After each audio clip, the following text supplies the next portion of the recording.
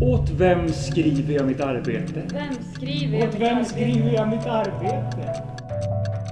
Den strategiska identiteten syftar till Skulle vara meningen att skriver. både inom nätverket har om organisationens roll och position i Du ska inte sätta all din energi på den där slutarbetet. Du behöver hjälp. Du, du, du måste ge en läkare.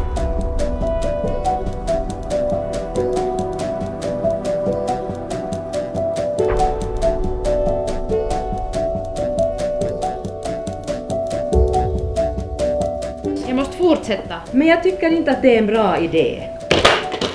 Jag är här för att jag inte kan gå ut på stan, förstår du inte?